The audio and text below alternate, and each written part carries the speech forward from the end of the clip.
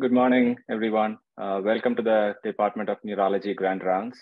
On behalf of the department, it's, it's my honor to introduce our speaker today, Dr. Michio Hirano, who will speak to us over the next hour about a most fascinating topic, namely mitochondrial disorders, from clinical characterization to precision therapies. Dr. Hirano received his undergraduate degree from Harvard College and his medical degree from the Albert Einstein College of Medicine. After completing neurology residency at the Neurological Institute of New York, he did a postdoctoral fellowship in neuromuscular genetics under Dr. Salvatore Di Mauro and Eric Schön at the H. Houston Merritt Research Center. Following this fellowship, he joined the Faculty of Neurology at Columbia University Vagelos College of Physicians and Surgeons. He is currently the Lucy G. Moses Professor of Neurology, the Chief of the Division of Neuromuscular Medicine, and Director of the Merritt Center. For more than 30 years, Dr. Hirano's translational research has focused on mitochondrial disease and inherited myopathies. His lab has identified the causative genes for multiple inherited diseases, including mitochondrial neurogastrointestinal encephalomyopathy, LAMP2 deficiency, and X-linked scapuloperoneal myopathy. To understand how some of these genes cause diseases, the lab has been investigating cell culture, and mouse models. He has been developing therapies for mitochondrial diseases, including deoxynucleoside treatment for thymidine kinase 2 deficiency, which is currently being assessed in clinical trials.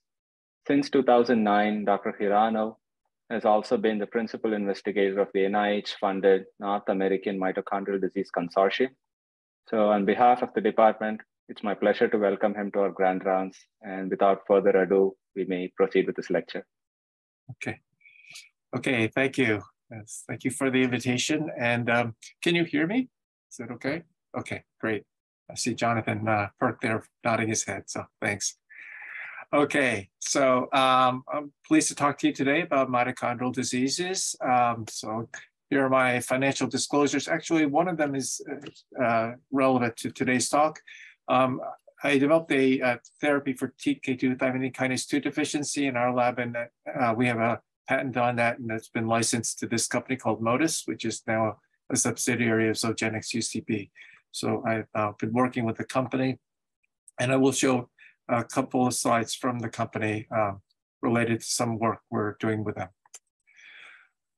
Okay, so just to remind everybody, mitochondria came from uh, bacterium about one to uh, two billion years ago, they developed this symbiotic relationship with uh, cells and uh, they brought with them the capacity to make ATP through this process known as oxidative phosphorylation, where the fatty acids and, and carbohydrates are uh, broken down and, uh, and into acetyl-CoA, and that feeds uh, electrons through the Krebs cycle into this uh, electron transport chain that generates a proton gradient that drives ATP synthesis.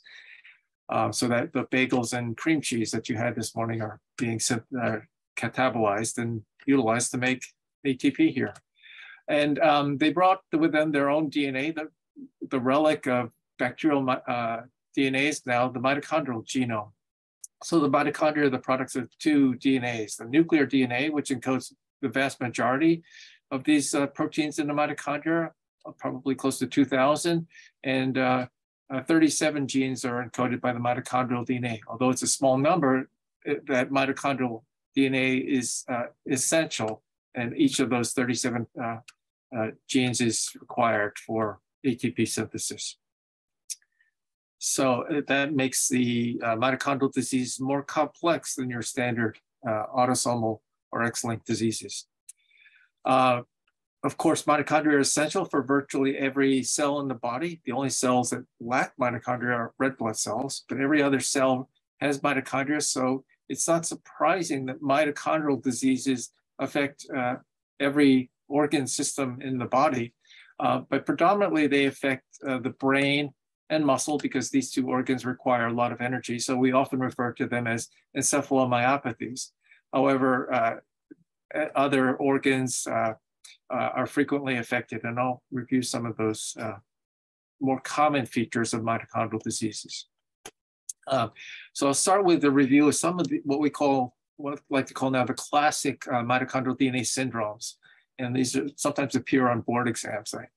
Uh, so, well, one of the first that was first uh, described is uh, Kearns-Sayre syndrome by an ophthalmologist and a pathologist in, at the Mayo Clinic, Kearns at Sayre, who described uh, this uh, combination of extraocular muscle weakness, so patients had ptosis, uh, ophthalmoplegia, usually combination of the two. And here you can see a patient with this syndrome who has uh, droopy eyelids, ptosis, and you can see that she's using her frontalis muscle. It's a little hard to see on this fuzzy picture, but she's wrinkling her forehead because she's using the frontalis to pull up her eyelids to compensate for her ptosis, and she has a ophthalmoplegia. She really can't move her eyes up or down or side to side.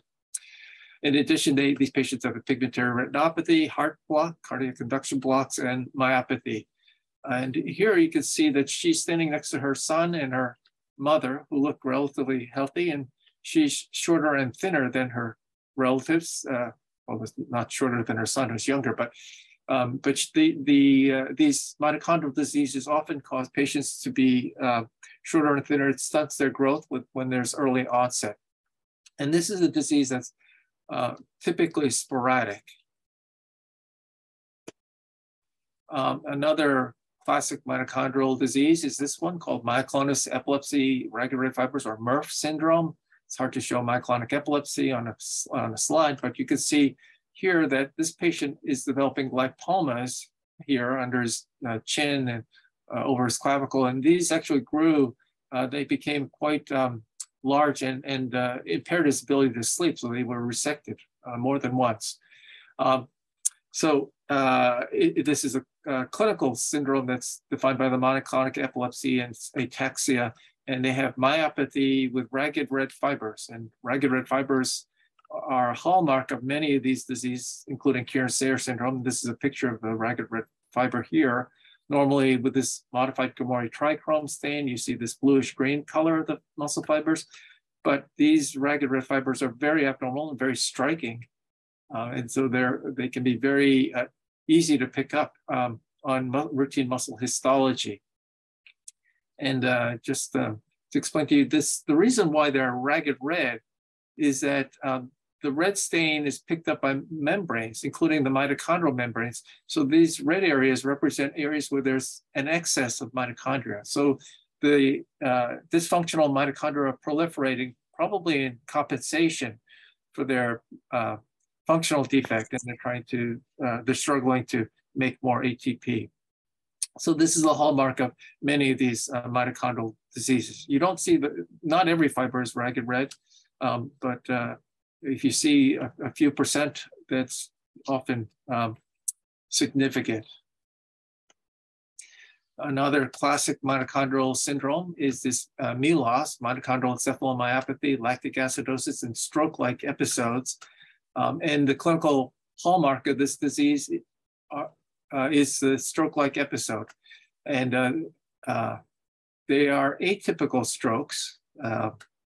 Uh, and when Steve Pavlakis and uh, uh, DeVivo, Rowland, DiMauro were uh, putting together the first description of this uh, syndrome back in uh, the early 80s.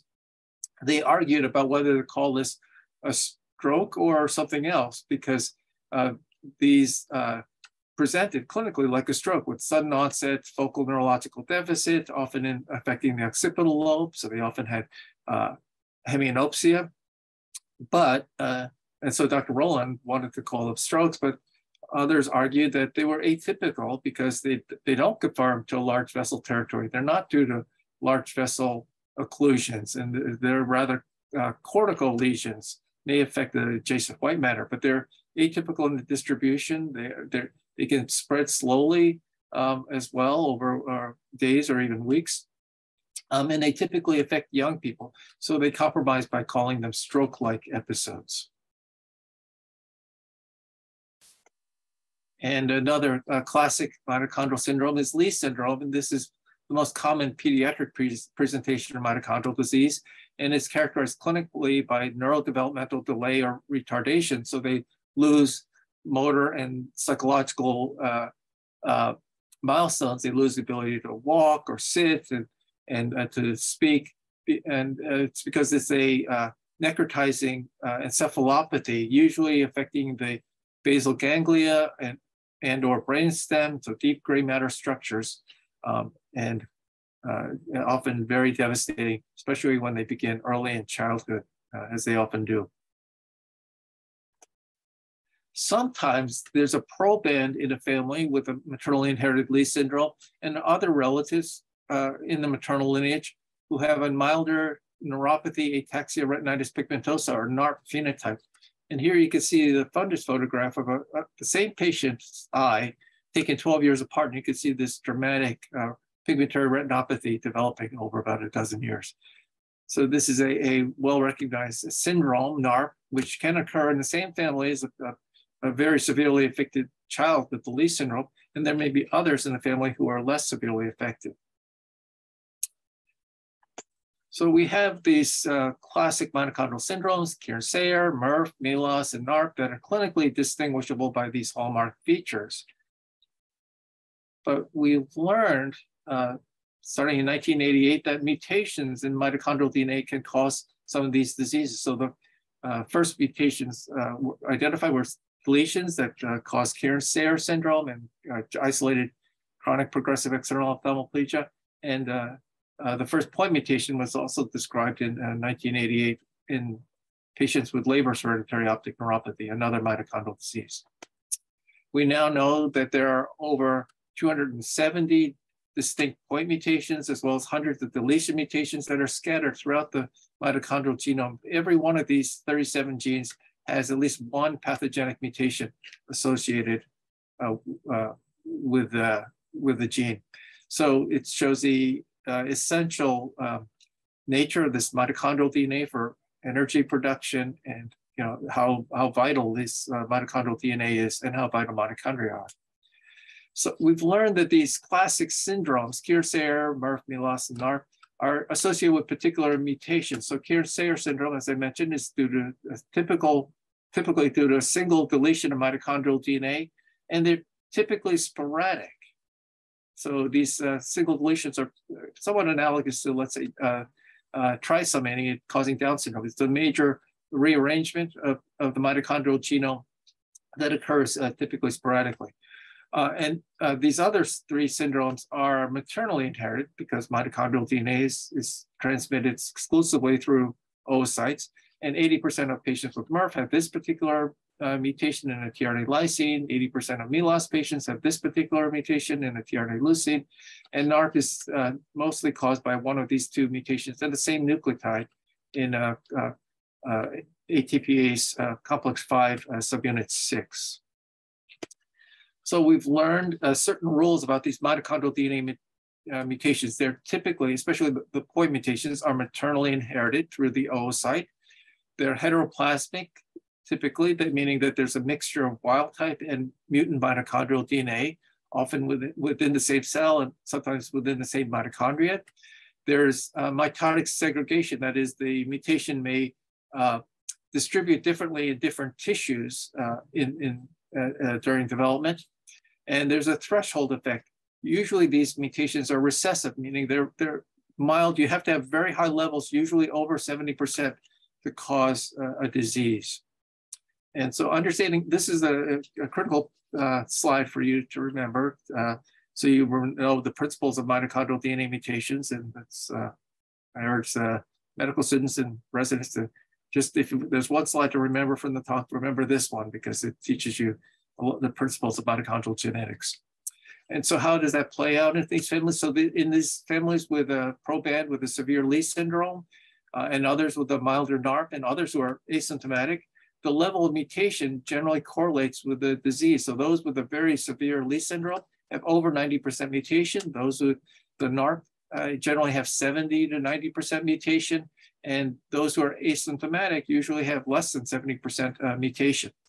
So this, this heteroplasmy uh, makes a big difference in families and also makes it difficult sometimes to recognize uh, families with uh, mitochondrial DNA mutations just on clinical grounds because you interview a, a, patient and you find out there's you know one person who's severely affected with uh, Leigh syndrome or MELAS, and there are others who have little uh, minor, relatively minor problems. They may have diabetes or hearing loss in the maternal lineage. And, and so they phenotypically sound different, but genotypically they all have the same mutation. In the case of NARP, one of these two mutations, MELAS, the 3243 mutation. So it's important when taking a family history to ask about oligosymptomatic uh, relatives, especially in the maternal lineage, if you're want to if you're suspecting mitochondrial disease. Um, but uh, more recently, uh, we've learned about numerous uh, nuclear gene uh, defects that cause mitochondrial diseases. And because many more uh, proteins are encoded by the nuclear DNA uh, and many more functions are carried out by these proteins, we've learned that the, the mitochondrial diseases are very complex and, and can just be due to disruption of many other functions of the mitochondria, such as importation of some of these proteins into the mitochondria or uh, mitochondrial protein quality control uh, or mitochondrial dynamics of movement and fusion, fusion and, uh, and breakdown of mitochondria called mitophagy, or even maintenance of mitochondrial DNA, which I'll come back to. To kind to try to address some of these, these complexities and learn more about mitochondrial disease, we're fortunate to have an NIH uh, grant, a U54 grant that sponsors this uh, North American Mitochondrial Disease Consortium, which has 16 sites scattered across the United States and one in Canada. And we're uh, collaborating to uh, uh register patients and collect information through a registry. So our registry now has over 2,000 patients enrolled. And we've learned, started to learn uh, more about these mitochondrial diseases. And we, are still uh, in a relatively uh, early stage in our understanding of these diseases, the most common uh, diagnoses are multisystemic disease and other clinical diagnoses. So uh, these classic syndromes uh, represent uh, probably the minority of these uh, mitochondrial disease patients, and there are many more diseases that are being clinically characterized. And but we've also learned that so far preliminarily, we've seen two peaks in these patients. There's, there's a bimodal distribution. There's a group of uh, earlier uh, onset and childhood uh, patients, uh, pediatric patients uh, with onset in the first two years of life. And then there's a second uh, peak of adult patients. And these early onset patients tend to have autosomal recessive mutations, not surprising. And those adults tend to have mitochondrial DNA mutations. So we're seeing a, an interesting distribution of these patients. And we were able to make a diagnosis in many of these patients. Um, more than half, slightly more than half had either nuclear or mitochondrial DNA mutations, but quite a large segment of this pie is lacking a genetic diagnosis, especially those who have uncharacterized multisystemic uh, syndrome or other clinical diagnoses. So we, we clearly have more work to do to understand the genetic basis of, of these uh, complex diseases. And uh, we see that there are a number of nuclear gene variants. The most common ones are polymerase gamma, the mitochondrial DNA polymerase, and pyruvate dehydrogenase deficiency. But you can see that in our registry, quite a few of these patients, uh, uh quite a few of these nuclear uh, gene uh, genes are seen in only single patients. So it shows the rarity of some of these mitochondrial diseases. So that's why it's very complex to, often complex to diagnose these patients um, and uh, and our, our knowledge is still uh, growing about them. So it's it's a, a field that's still um, very active uh, in research to try to understand these diseases, and ultimately we'll we'll need to uh, understand their natural histories and hopefully develop therapies. Um, the, the complexity is is even more uh, than what we originally thought. This Leigh syndrome, which I talked to you about in this context of the NARP mutation, is now been related to or uh, linked to uh, defects in more than 70 different genes, including both nuclear and mitochondrial genes. Um, and so there, there's a variety of, of Leigh syndrome from that could be maternally inherited, autosomal recessive, or even X-linked. Um, and this MELAS syndrome, which typically is 80% uh, of the patients are due to have this uh, tRNA leucine mutation I mentioned, uh, but there are other uh, causes, including nuclear gene causes. So there's the complexity uh, of, of these mitochondrial diseases, both phenotypically and genetically, continues to expand, but we are making progress. To try to clarify the field, and, and we, we recently published this paper defining what the classical mitochondrial syndromes are. And we wanted to make sure that everyone is on the same page in terms of what the clinical definitions of these uh, classic syndromes are. So we, we listed them, including, for example, MELAS. Uh, there was a lot of confusion about uh, MELAS and what, what was required. And, and uh, clearly the hallmark feature is stroke-like episodes that leads to uh, uh, cognitive changes, focal neurological deficits, seizures, and so on. But uh, many people were assuming that everyone with the 3243 mutation had MELAS, which is not true. Uh, only 80% uh, of patients with MELAS have the 3243 mutation, but of patients with the 3243 mutation, only uh, 10 to 20% have the classic MELAS syndrome. So uh, we're dissecting out the genetics and, and phenotypes of these complex diseases. So I know that um, I, this, I'm giving you a lot of information and maybe confusing. So I just want to give you highlights for um, some of the red flags that we look for when we're trying to decide if a patient has a mitochondrial disease. And I, I want to preface this by saying that you know, I think mitochondrial disease among the, the rare genetic disorders are probably among the most overdiagnosed and underdiagnosed uh, uh, genetic disorders. Uh, they're overdiagnosed because whenever we encounter a, a patient with a complex uh, multisystemic disease, we often put it on a differential diagnosis. Uh, could it be a mitochondrial disease? At the same time, they're underdiagnosed because clinicians don't know how to recognize them and and and uh, and, and, they're often missed, especially in, in general practitioners' uh, offices. So um, they often present to neurologists, so we have to be aware of these diseases. So some of the clinical flags, as I said, they often affect the neurological system. They often present as encephalomyopathy, brain and muscle diseases. Some of the clues are cognitive decline in a young person. The basal ganglia lesions can indicate Leigh syndrome. Sensory neural hearing loss is very common. The stroke-like episodes is characteristic of MELAS. And the myopathy the, uh, uh, is uh, typical that it presents with proximal muscle weakness, but there's typically exercise intolerance out of proportion to their weakness. So these patients poop out after walking up a flight of stairs because they lack the ATP uh, production that's necessary to, to, to, uh, to move. Uh, the ophthalmological features are, are common, the ptosis ophthalmoplegia that I mentioned before, pigmentary retinopathy, and then optic atrophy, particularly in Leber's disease. Now, cardiac manifestations are not uncommon. They often present as hypertrophic cardiomyopathy initially that may progress to dilated. Cardiac conduction block is, is common in, in uh, Kearns-Sayre syndrome. Uh, Wolff-Parkinson-White or pre-excitation syndrome is a very common incidental finding in these patients. Gastrointestinal problems we're seeing more frequently with uh, uh, fatty liver, hepatic steatosis. They often have trouble swallowing, with, especially in patients with Kearns-Sayre and other forms of CPEO. Uh, gastrointestinal dysmotility is very common in these diseases.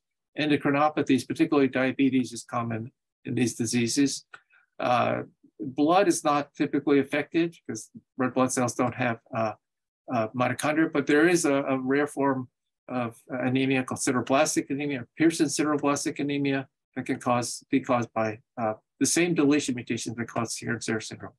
Kidney uh, problems, tubular acidosis is common. Uh, and then the genetics could be a clue, especially if there are affected patients in the maternal lineage. Uh, and it's important to look for oligosymptomatic uh, individuals um, who may uh, partially express the uh, uh, symptoms because of the heteroplasmy issue. And in general, as I mentioned, they often are thin and short because the disease can stunt their growth early in life. Um, so those are some general principles for uh, looking or considering mitochondrial disease. And now I'm just going to focus on one uh, group of disorders and actually one particular uh, autosomal recessive form of uh, mitochondrial disease. So as I mentioned, uh, we uh, require a number of factors to maintain our mitochondrial DNA. Um, and there are defects in nuclear genes that cause secondary instability of mitochondrial DNA. And that manifests as multiple deletions or depletion, lack of mitochondrial DNA. Uh, in contrast, this is a, a, single deletion that we see here with a patient with Kearns-Sayre syndrome. But in these disorders, there's a primary defect in the nuclear genome that causes instability of mitochondrial DNA leading to loss of mitochondrial DNA or damaged uh, mitochondrial DNA in the form of multiple deletions. And now we know about 34 nuclear genes that cause these multiple deletions and depletion syndromes. Uh, and the one I'm going to talk to you today about is uh, this one, thymidine kinase 2 or TK2.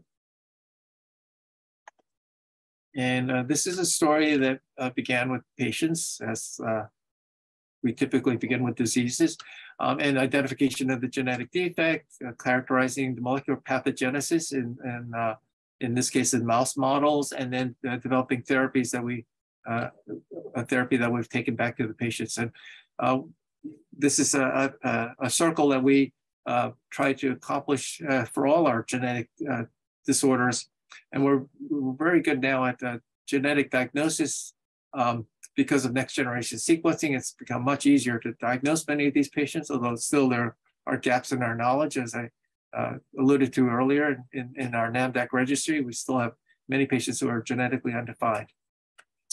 Uh, but we progress through this uh, cycle and hope. Uh, unfortunately, we're not very good yet at taking therapies back to patients, but uh, I think the TK2 story is, is one where we have uh, succeeded partially and hopefully we'll continue in that. So uh, TK2, thymidine kinase 2, is encoded in the nuclear genome. Uh, it encodes a protein that is imported into mitochondria. So this sits inside of the mitochondrial matrix. And if uh, phosphorylates these nucleosides, deoxycytidine, deoxythymidine, uh, and makes the monophosphates, which in turn make the triphosphate building blocks to maintain mitochondrial uh, DNA. So uh, this uh, defects in uh, TK2 were first described 21 years ago by a group in, in uh, Israel led by Ayan Saada and Orly Elpeleg. And they described these young children with early onset myopathy that affect limb muscles, but early onset of respiratory muscles, resembling Pompe disease, but early respiratory muscle weakness. Um, and they had elevated CKs, often in the thousands, due to the myopathy, uh, and uh, elevated lactate, which is occluded. This is a mitochondrial disease. And they uh, progressed rapidly, and, and, unfortunately, the mean age of death was two and a half years. So uh, it's a severe disease. And they uh, found uh, mutations in the nuclear gene encoding this thymidine kinase 2, which is in the mitochondria, as I mentioned and essential for maintaining mitochondrial DNA. Since uh, that initial report, um, we and others have noted that um, there's a spectrum of TK2 uh, disease from the early infantile onset myopathy, which probably accounts for about 40% of patients. Then you can have a, a juvenile onset between uh, 1 and 12 years, again, about 40%. And then a minority, about 20%, have a late onset uh, uh, myopathy that begins in adolescence or adulthood. And not surprisingly, uh, survival uh, is correlated to the age of onset. Those with the early onset, infantile onset uh, disease progress rapidly and, and, survival is only about a year, as shown by this Kaplan-Meier blue uh, line here. Whereas those with the later onset have slower progression and tend to live longer. And we see this, of course, with other uh, neuromuscular conditions as well. We see this classically with SMA. Uh, so we uh, developed a mouse model. Actually, it's an interesting story of one of a, a patient in Spain. Um, uh, his uh, parents uh, donated money for us to generate a mouse model. So we made a knock-in mutation, with, which is analogous to that patient's mutation. And then, this mouse has a phenotype very much like the infantile onset disease, where they stop growing at about 10 to 12 days of life and they die in the second third week of life. So it's a very severe uh, myopathy, uh, and they develop a tremor, and they, they have impaired gait, and, and you can see here they have markedly reduced movements uh, as they progress through this disease. So this is a, a very good model to study this disease. We showed that uh, there, there, was complete, virtually complete loss of uh, TK2 activity in uh, tissues across the, the mouse body.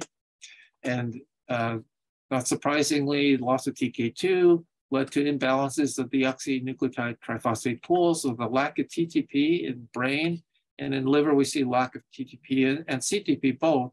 Uh, so there the nucleotide pool imbalances uh, vary from tissue to tissue. And that, of course, that led to the depletion of mitochondrial DNA here. You can see in the striped bar. But uh, in the mouse, it's different from the humans in that uh, in mice, we see more of a CNS uh, phenotype with brain and spinal cord predominantly affected uh, in contrast to the uh, patients who have predominantly myopathy. So this block in TK2 is obviously very severe. So we uh, postulated perhaps we could uh, treat the this uh, disease in the mice, either by giving the monophosphate to bypass the block, or subsequently we figured out just by giving the substrates, we can bypass the biochemical block here by going through the cytosolic pathway, which uses thymidine kinase 1 and deoxycytidine kinase to make the trinucleotide uh, uh, uh, triphosphate nucleotides uh, for uh, mitochondrial DNA synthesis. And we did that, and we saw that uh, giving the mice just the milk, uh, they, they, they, survived about the same uh, as untreated mice. But when we added nucleosides to the uh, milk, we could double or triple the lifespan of the mice in a dose-dependent fashion. And we were able to increase the mitochondrial DNA, and here you can see untreated brain, the level of mitochondrial DNA here with treatment, it goes up. Uh, unfortunately, it doesn't stay sustained after 29 days. It drops again. And uh, ultimately, unfortunately, uh, even with this treatment, the mice uh, die. Um, uh, but we were able to delay the onset and slow the progression of the disease. Uh, and we can see a nice recovery in muscle as well, um, the mitochondrial DNA with this treatment. So while we were working on the mouse model, uh, uh, as a clinician, unfortunately, I was still seeing patients, and, and um, some of them were very severely ill and uh, were desperate for therapy. And this is one child that came to us in 2012, so uh, about actually 12, I'm sorry, uh, uh, 10 years ago this month. and he presented with normal early development, sat at six, seven months, started cruising, walking around holding onto tables at age 12 months. But about that age, his grandmother noticed he had trouble holding up his head and he was flopping over due to weakness. And he it rapidly progressed over the next three months and he lost the ability to sit and to cruise. So it was a very rapidly progressive myopathy. He was admitted to a local hospital.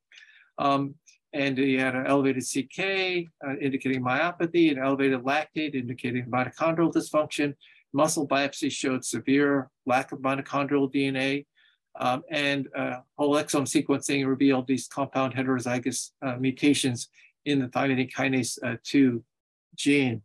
So this, uh, uh, we were contacted uh, by the parents, and and the child was about 19 months old at the time when we saw him, and you could see him quite floppy. His legs were in a frog's-like position earlier. He can't hold them up against gravity. Can't lift his arms at, at the shoulder against gravity because they're so profoundly weak. And he has uh, no head control, as you'll see in a moment. Um, and uh, you can see how his head is lagging behind. And in a moment, you'll see from the side how profoundly floppy his uh, neck is profoundly weak. So uh, unfortunately, that child was uh, very severely ill. Um, the, the day after we saw him, well, first we had a conference with the parents and told them about our uh, mouse model uh, therapy. And uh, we said we had never uh, tried it on anyone. Um, and but it was something that offered some hope.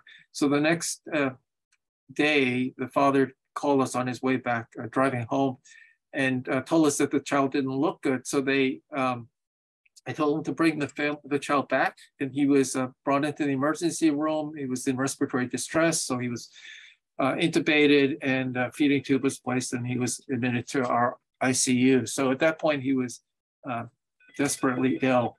So we uh, actually called the Food and Drug Administration and asked them if we could try initially the monophosphate therapy, which we were uh, testing in the mouse at, at that point. Um, and we got what's called an emergency IND. So we were able to get obtain chemical grade compound and started it at a low dose and gradually built it up. Um, and uh, he, he showed some improvements. You can see him after about three years of therapy, uh, we switched him over to nucleoside therapy. But you can see uh, in uh, in 2015, he's able to. He's still on a ventilator, but he's able to use his arms uh, functionally. Uh, able to pick out his favorite movie, The Lion King, from YouTube, and um, he's uh, became stronger. Um, and here he is at age nine. Um, riding a bicycle, still on a ventilator, uh, and he's uh, but he's cognitively intact. He's learning to read and write, and he's uh, uh homeschooled. Um, and he's slowly uh, gaining strength. Uh, we were a little tentative in the beginning in terms of initiating the therapy, but um, we've learned that we can be more aggressive about treating these patients. And I can um, please report that just this summer they started weaning him off the ventilator for up to uh, an hour or two at, at a time. So uh, we and uh, collaborators in Spain uh, have been treating patients on a compassionate use basis, uh, initially under emergency and single uh, patient INDs and then an intermediate IND in the US and under similar ethical protocols in, in Spain.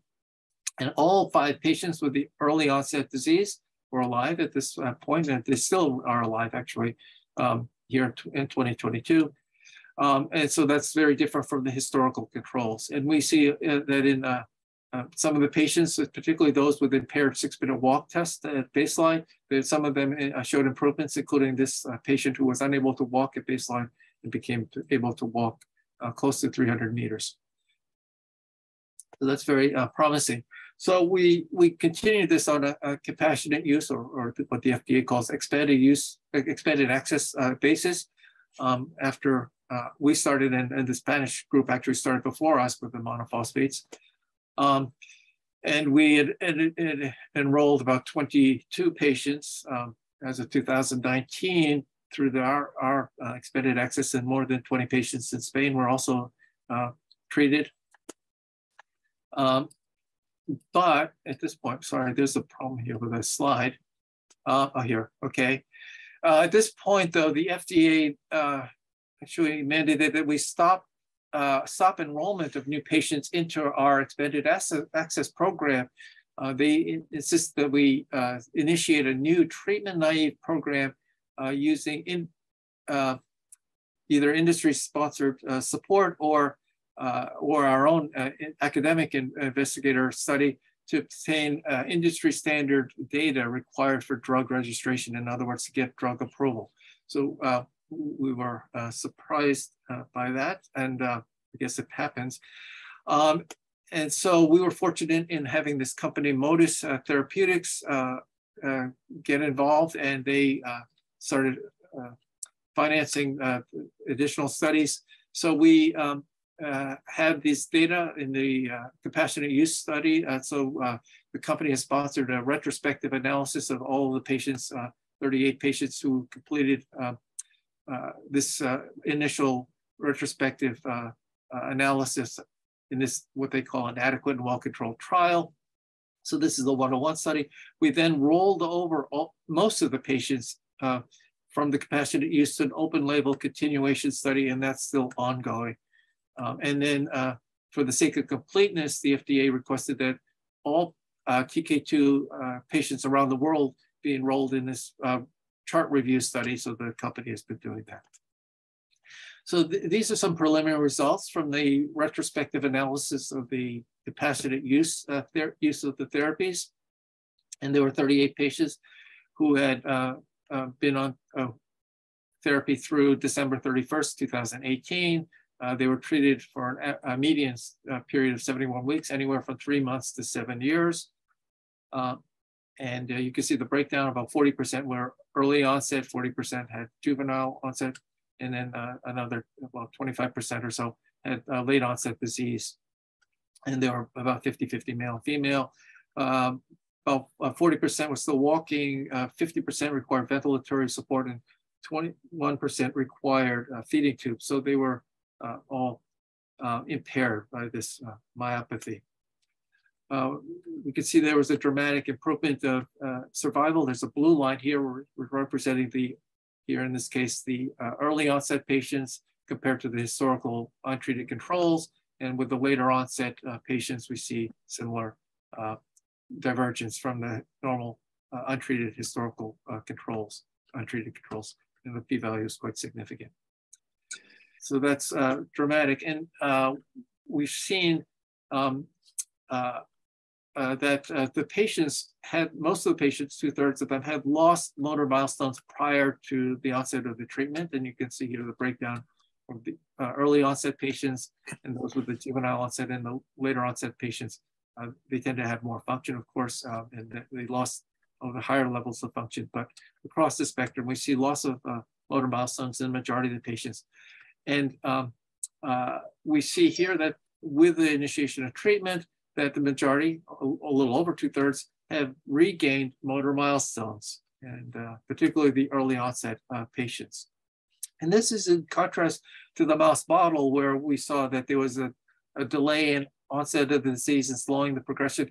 In, in, in patients, we were seeing not just the a slowing progression, but actual improvements in patients. So we were, uh, we've been uh, pleasantly surprised by uh, how well they're doing. Um, and some, some key highlights, some uh, three patients who had lost ability to walk prior to treatment, uh, they had regained ability to treat. And as I showed you, one patient who had never walked uh, gained ability to walk. respiratory status in one patient improved dramatically, a child who was on mechanical ventilation 24 hours a day was able to discontinue, and some others have been able to reduce the amount of time on the ventilators, on BiPAP in particular. Um, and feeding, uh, three out of the eight uh, patients who are on feeding tube were able to remove their uh, feeding tubes. And to show you how dramatic this can be in the early onset patients, if we catch them early, this is a child who came to us from South Korea, onset at age 10 months. We saw him when he was 16 months old. And you can see he's very much like that first patient, very flop, uh, floppy neck and uh, very weak. And here after one month of treatment, and again, we're more aggressive now in, in, treating patients earlier with higher doses. He's beginning to move his arms. And after three months of treatment, you can see he's uh, looking happier as well. And he's able to transfer the toy from one hand to the other. And uh, in a moment, well, maybe I can uh, well, we pulled him up to sit and he, he's not able to pull himself up to sit at this point, but he's um, able to sit when he's uh, propped up. And uh, well, and all right, okay, and then here he is after six months of treatment, and you can see that he's able to walk with a little bit of support. Um, start to see here his chopped tendon normalized. And here you can see him after 10 months of therapy and he's walking nonchalantly with his arms behind his back. So that's uh, remarkable. Um, the, of course, the um, if you treat early, you can get more dramatic responses as we've seen with SMA, but we can see even in adult patients like this patient in Spain, we can see some improvements. A woman who was 38 years old. Had, she had onset at age five was diagnosed at 35 years, so there's a long delay in the diagnosis. And she had this particular mutation, and she had uh, fatigue, exercise intolerance, and a prominent facial weakness, uh, as well as uh, limb and axial weakness. And respiratory muscles uh, were weak as well. Vital capacity was about 50%, and she was already using BiPAP. So she began the, the chemical grade uh, therapy at age 35. She had some diarrhea, which is a common complication of this uh, therapy, but you can see pre-treatment, uh, she's has great, she's really unable to lift her head, but, uh oh sorry, this is, clicker's not working. Uh, well, oh here, okay. So here you can see that she's able to lift her head. And similarly, pre-treatment, she has uh, great difficulty getting up from the chair. And she's shuffling her feet to get up. Whereas, oops, uh, I don't know why this is not working. Uh, okay. No, not able to.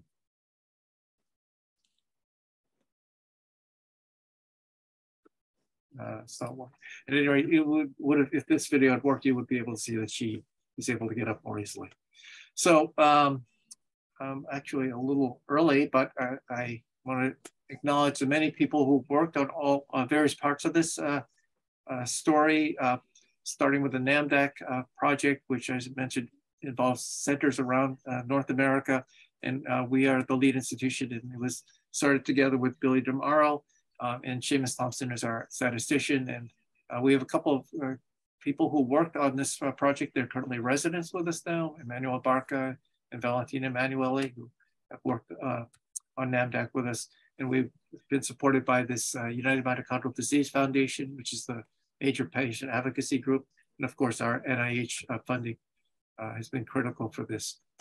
And our TK2 uh, deficiency program has been led by people in the laboratory, who worked on the mouse models, but we have a number of people who worked on the clinical side, including coordinators and our industry partners as well. And there were a number of collaborators in Spain and other countries who have uh, contributed patients the years. So this is really an international effort. And with rare diseases, we really do need to work uh, um, as part of a team and uh, often internationally because there, there, are so few patients and every patient is critical um, in, in the development of uh, therapies, in both in terms of understanding the disease and, and ultimately, hopefully, to bringing treatments to them. And uh, I want to, of course, acknowledge the, the, patients and their families who were uh, trusted us and uh, allowed us to work with them on, on this therapy. So uh, went through a lot of information quickly, and uh, um, I thank you for your attention. And I'll be pleased to try to answer any questions.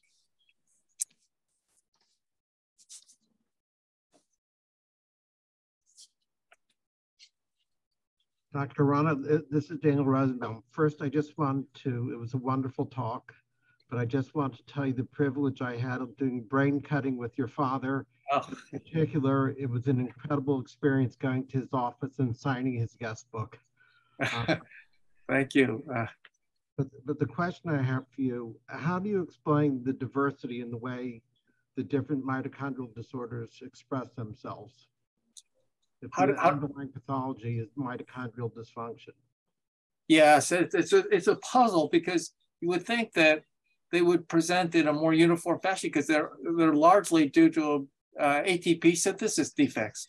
So if there's an energy uh, deficit, you would think that they would present in very similar ways, but th there's this great diversity and um, uh, we don't fully understand why. Um, uh, we we have some clues. Let's say I think that uh, the distribution of the mutation can make a, a, a, huge difference in the case of mitochondrial DNA mutations. Um, uh, I can give you an example is the Kearns-Sayre syndrome. That's a disease that's typically sporadic, but about 4% of the women who carry a deletion mutation can transmit it to their child. And that child um, may present with this sideroblastic anemia because they have high levels of the deletion mutation in their bone marrow and causes a, anemia, which can be fatal. But with transfusions, um, they, they, they, survive. So, uh, and uh, th that uh, there's a Darwinian selection. So they lose the deletion mutation in the bone marrow. So that anemia goes away, but later in life, they accumulate the deletion mutation in muscle and they develop PEO and uh, and uh, and all, sometimes Kearns-Sayre syndrome. So the amount of mutation in different tissues can influence the phenotype. So that's that's part of the explanation, but we don't know why uh, in other diseases they're so specific. Like in Leber's, why is it so specific to the eye? Uh, that's uh, it's it's there's still some mystery. So that's why we have a question with the mitochondria here. Thank you.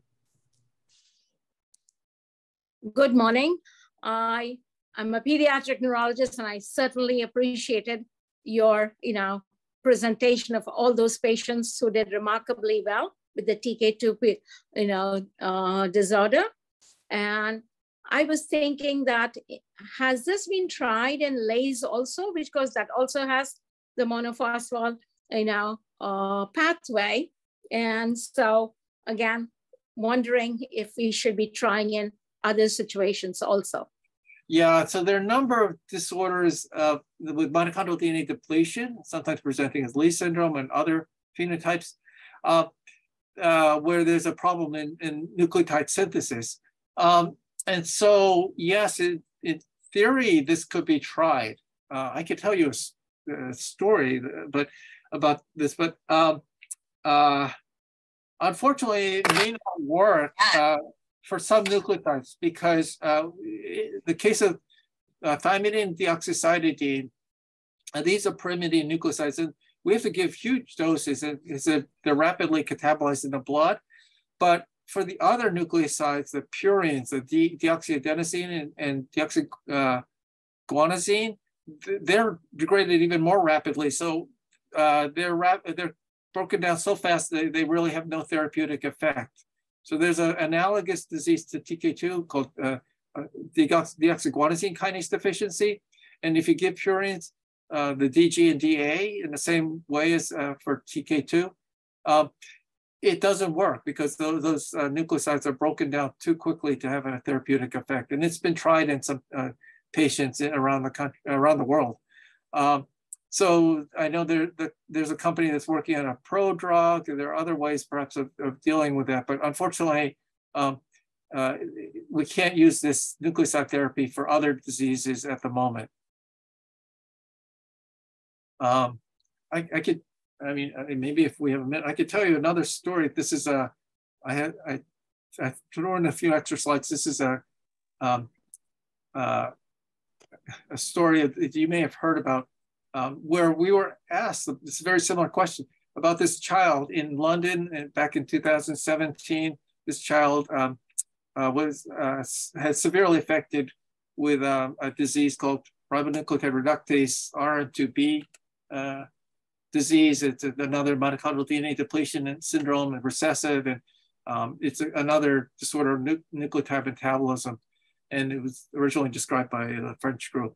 So this poor child had this disease and was very weak. And um, we were, and here's where the biochemical block is here uh, in this ribonucleotide reductase. And it, uh, as a consequence, uh, you lose all four nucleosides. So we thought, you know, maybe at that point we could give all four nucleosides to try to treat it.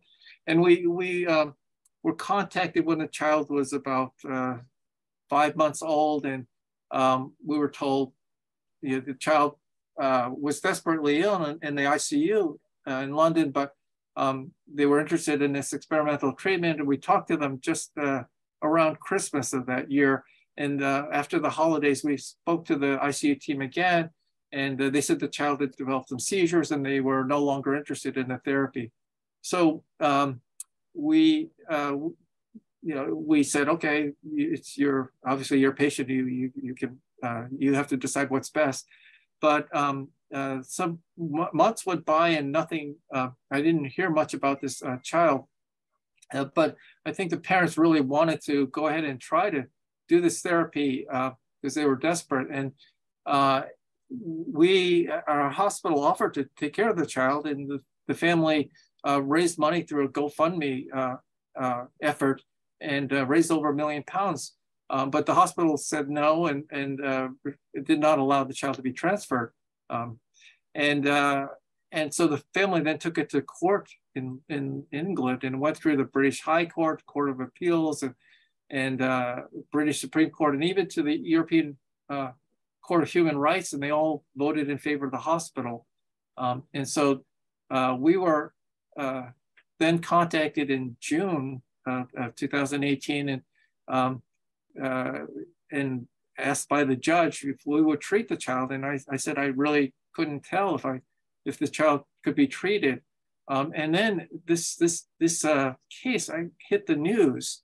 Uh, I don't know if you remember, but yes, this, yeah, this was this was uh, even the Pope spoke out about it when he said, for them, meaning the family, he prays, hoping that their desire to accompany and care for their own child to the end is not ignored. And even Donald Trump tweeted about it.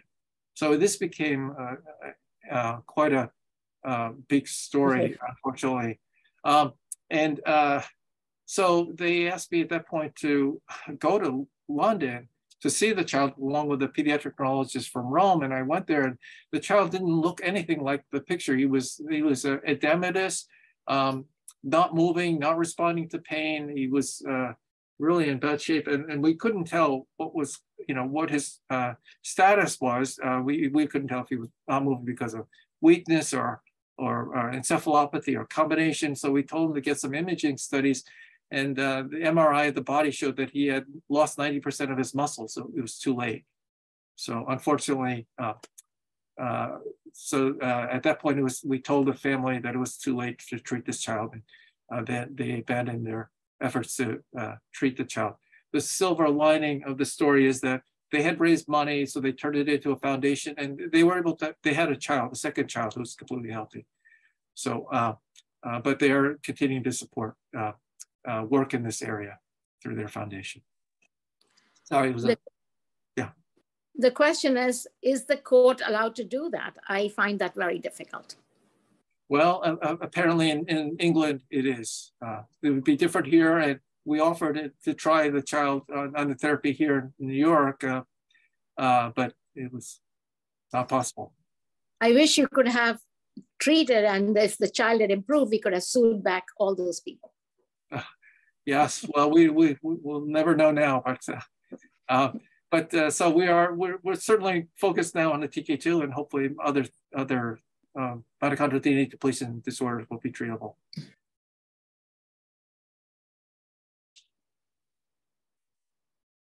We have a couple of questions in the chat. Uh-huh.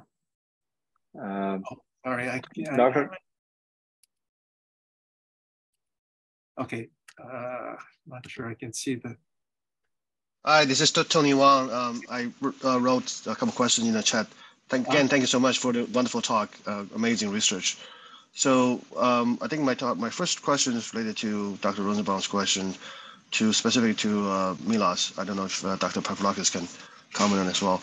Uh, what you know, what's the uh, underlying pathophysiology for you know stroke symptoms uh, for the, in the MELAS uh, spectrum? and why it's affecting part of the brain but not the other parts. Um, and second question is whether um, any other ways to to target and um, potentially remove or the diseased mitochondria to some degree, or introduce the uh, normal uh, where normal uh, mitochondria uh, somehow, or increase the production, uh, yeah. production. Um, those are great questions. Uh, so for the first part about the, the stroke-like episodes in MELAS, yeah, the, the, uh, many of us consider them uh, metabolic strokes. Uh, they're not typical vascular strokes, although um, there is some uh, vascular pathology in, in uh, autopsy studies of, of, patients with MELAS that you can see uh, the equivalent of ragged red fibers in the blood vessels, particularly small arterioles and capillaries, they're full of mitochondria.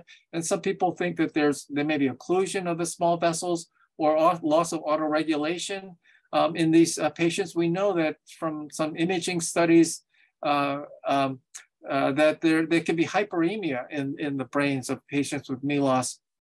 So it's uh, there is some uh, vascular component to this, and, and that's the rationale for uh, giving arginine or citrulline.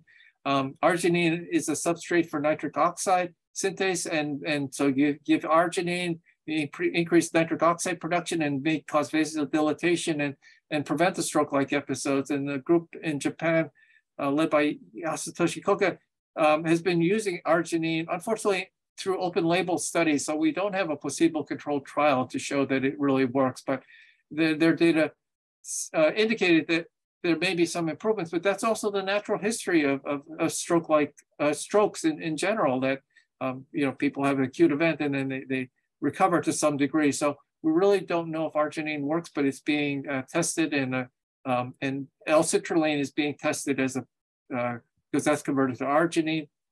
Uh, and, and, that's a, a NAMDC project led by Fernando Scaglia in, in uh, Baylor. So um, it's it's a, an interesting question and an unanswered question about this the etiology of the stroke-like events. Um, and then the second question about shifting heteroplasmy, that, that's a that's a, a, a very uh, uh, exciting area of research right now. People are designing uh, proteins to recognize and cut mutant mitochondrial DNA. Uh, and it's, it's possible using these custom designed proteins called zinc finger nucleases or TALENs. Um, there's a new technology called meganucleases, and, and they're custom designed proteins that bind the specific segment of, of mutated mitochondrial DNA and then cut it and it's eliminated.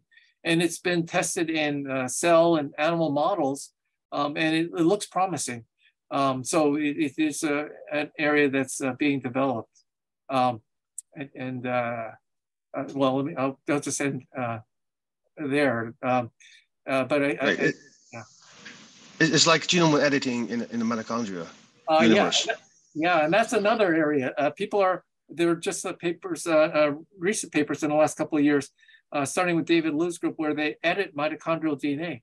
Um, uh, instead of cutting it, they, they take, a, in this case, a, a cytosine deaminase and they target it using the TALENs to the mutated mitochondrial DNA and uh, converting a, a C to a U in the DNA and and um, and then it, it, it, mutates. It basically edits the, the mitochondrial DNA uh, without cutting it. And so that that's another technology. So there's a lot of excitement about hopefully uh, altering mitochondrial DNA, and, and we have an advantage in mitochondrial diseases or mitochondrial DNA diseases because there's wild type mitochondrial DNA, and if we shift the level from uh, you know 90% to 50%, we could convert a patient from Leigh syndrome to normal uh, in theory uh, by shifting the heteroplasmy. Great, thank you so much. Uh, we have another question in the chat. Dr. Litton asks, if the location and pattern of strokes in MELAS would be more suggestive of complicated migraine rather than CVA. Yeah, and that's an interesting question. I think there's a, there's an overlap between migraines and, and, and MELAS and mitochondrial diseases. A lot of the patients with uh, MELAS have uh, migraine-like headaches. Um, and and, uh, and and so there is a relationship here that we don't fully understand. It's you know people have looked at patients with complicated migraines and for mitochondrial DNA mutations and haven't found them, but there may be some common etiology here that, that uh, perhaps involves mitochondria uh, that we, we just don't understand uh, with the complicated migraines. But yes, there's some overlap here that's intriguing uh, and, and uh, needs, uh, needs a smart person to figure out if there is a, a connection here. Um, I had a question. So you spoke about uh, cognitive decline in a young person being a red flag for the possibility of mitochondrial disease. If someone has uh, dementia, early onset dementia, the absence of other multisystemic involvement, would you still consider mitochondrial disease in the differential? Um, I generally don't if it's just pure dementia in a, a young person, um, because typically we see, you know, uh, multiple symptoms and signs in patients with mitochondrial disease, even hearing loss, ptosis, uh, myopathy. So isolated dementia, I, I think would be very uncommon. Um, and similarly, I think people have tried to link autism to mitochondrial uh, disease and, um, and rarely is autism, uh, uh, uh pure autism, a, a mitochondrial disease you, you may have autistic spectrum disorder and mitochondrial disease, but it's usually in the setting of other problems. They, they may have Leigh syndrome or they may have hearing loss and uh, other neurological problems. So pure autism is not a mitochondrial disease, but um, you, you, can see uh, mitochondrial disease pre presenting with autistic spectrum disorder. Uh, so uh, it's, but again, it, it, usually there are clues clinically that there's there are multiple organs or systems involved um, that, that indicate mitochondrial disease.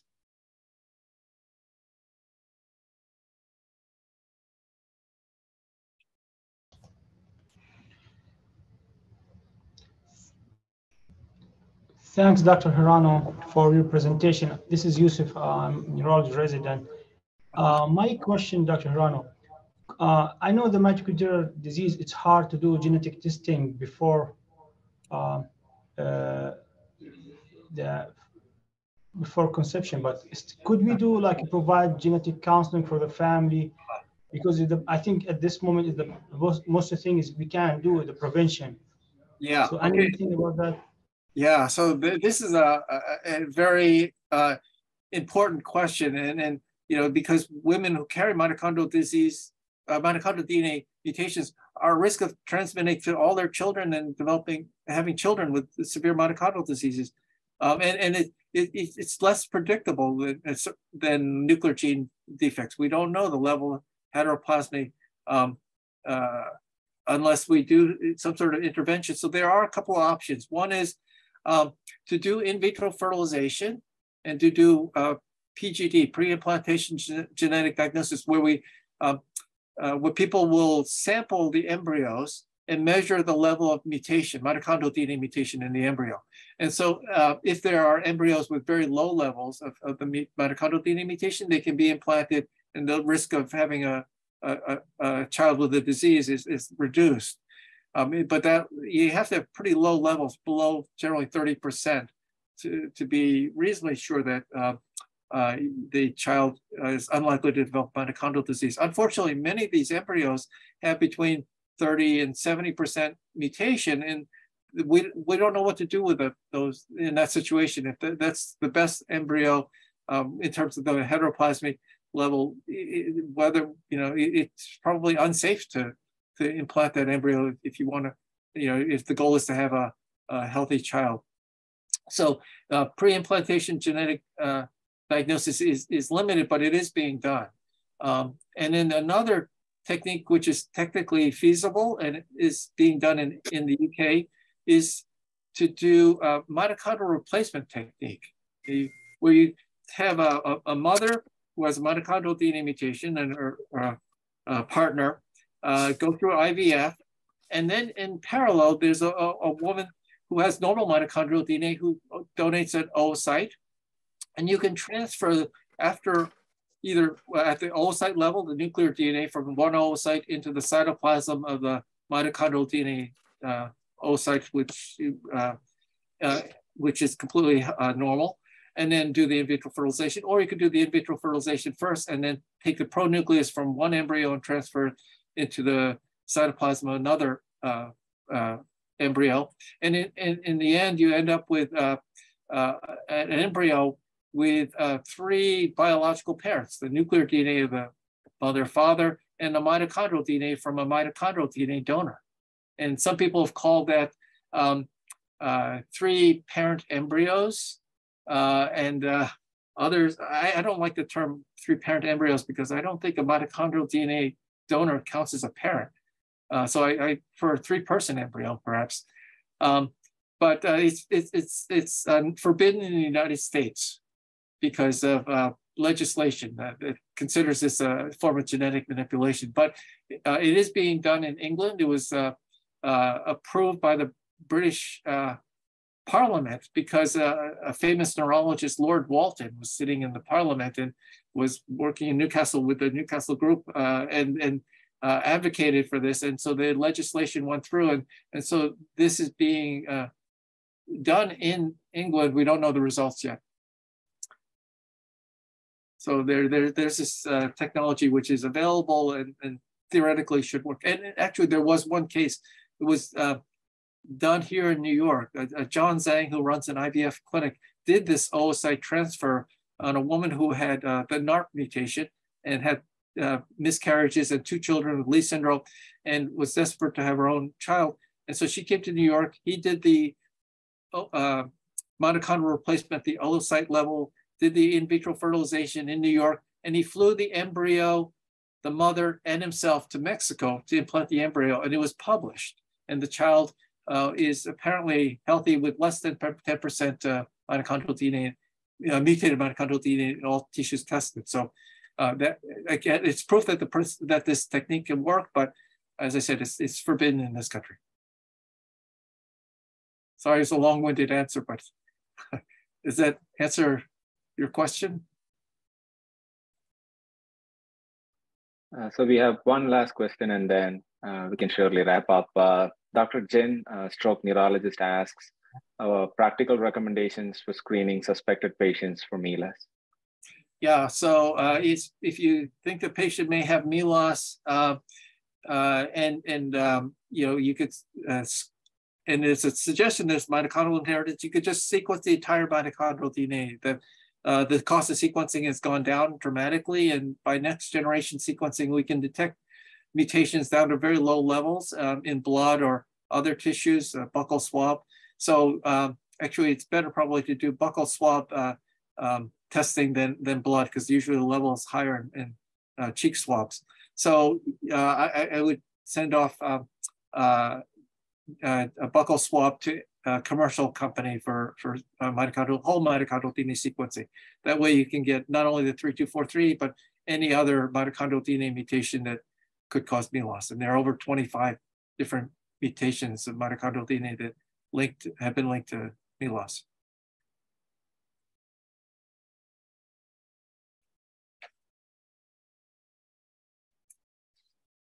Uh, I think we can wrap up now, but this was wonderful. Thank you so much. Okay, thank you. Thank Bye. you.